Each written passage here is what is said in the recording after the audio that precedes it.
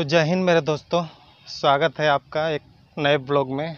मैं हूँ विजय और आप देखना शुरू कर चुके हैं द यात्रा ऑन ट्रैक तो आइए, आज शुरू करते हैं आज की जर्नी। और आज की जर्नी जो अपनी अपनी नहीं, अपनी तो आज जर्नी नहीं होने वाली है। आज की जो जर्नी होने वाली है, वो अपने उपराष्ट्रपति जी, श्री वेंकैया नायडू अपने वाराणसी शहर में पधार रहे हैं। इसी के बनारस रेलवे स्टेशन पे वो भी ट्रेन के द्वारा। तो ट्रेन के द्वारा आज अपने राष्ट्रपति जी आ रहे हैं और ये रहा बनारस स्टेशन। आप देख सकते हैं, काफ़ी खूबसूरत नज़ारा है यहाँ का। और यहीं पे थोड़ी ही देर में अपने राष्ट्रपति जी यहाँ पे आ रहे हैं और उसके लिए बनारस स्टेशन को काफ़ी साफ़ सुथरा और सुंदर से सजाया गया है। तो आइए, देखते हैं उनकी ट्रेन कब तक आती है और आपको उनकी ट्रेन की झलकी और उनका आगमन दिखाएँगे। तो चलते हैं स्टेशन के अंदर। दोस्तों, हमको बनारस स्टेशन पे अंदर एंट्री नहीं मिला और हम आ चुके हैं मड़ुआडी ओवरब्रिज से। आपको नज़ारा दिखा रहे हैं अपने।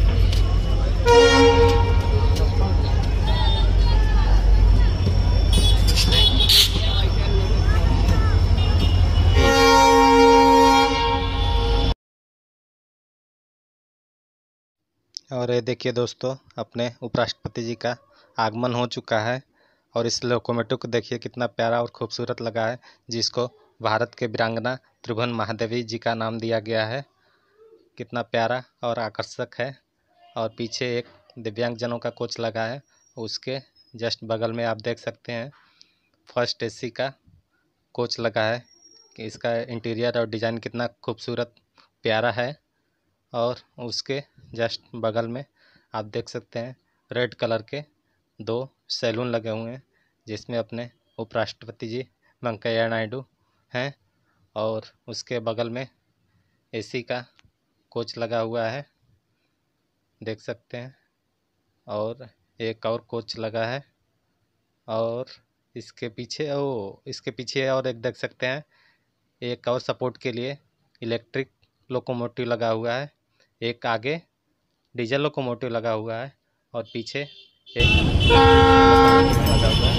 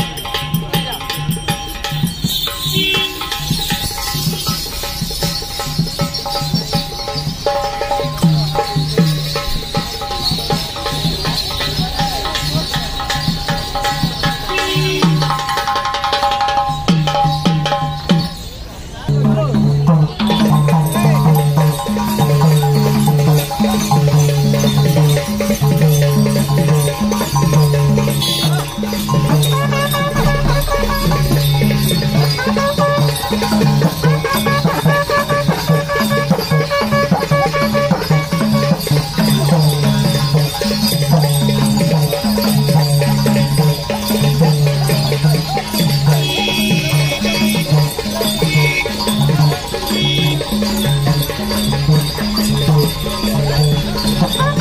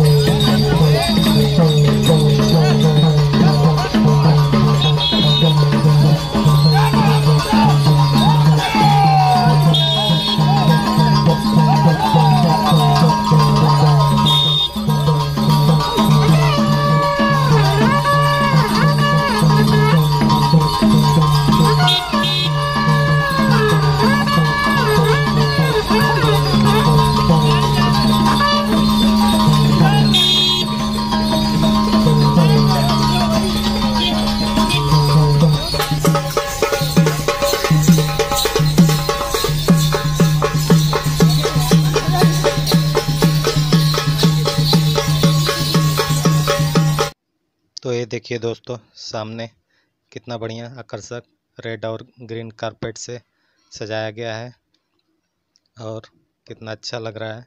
और सामने आजमगढ़ ब्लैक प्रोट्री स्टोव का स्टॉल लगा है।